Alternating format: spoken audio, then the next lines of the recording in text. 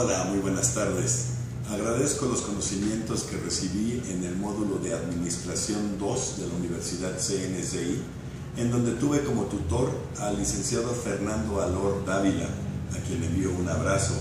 en este módulo me di cuenta que la administración de una empresa es muy, muy importante. Todos los aspectos que caen en la administración son importantísimos para todas las empresas. Si una empresa quiere crecer, si una empresa quiere tener, proporcionar muchas fuentes de trabajo, tiene que estar bien administrada. También nos fuimos a ver los aspectos teóricos de la teoría de la administración, la evolución histórica de las ideas de las personas que se, que se dedicaron a estudiar la administración. También fue importante ver los modelos organizacionales que existen y que son la forma en que se debe administrar una, eh, una empresa determinada.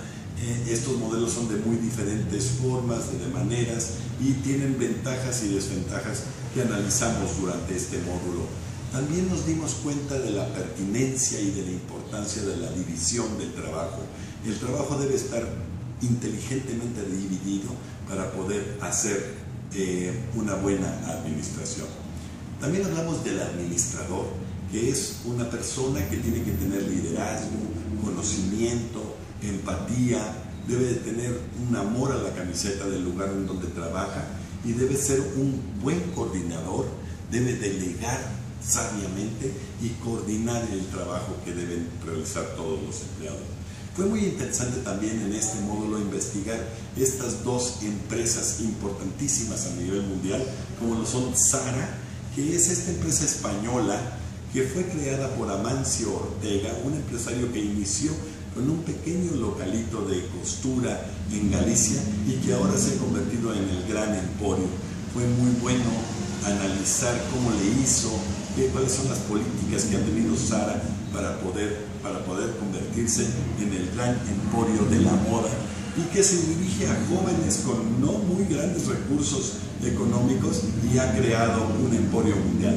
También vimos a Starbucks y para mí me resultó eh, muy interesante analizar a Howard Schultz, que fue el, eh, que es el dueño de Starbucks, el director general, y todo lo que él ha hecho para lograr que su empresa se expanda impresionantemente, con, empezando en la ciudad de Seattle, Washington, en Estados Unidos, y logrando un emporio mundial de más de 17 mil tiendas.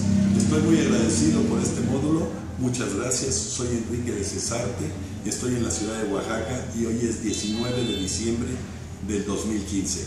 Gracias.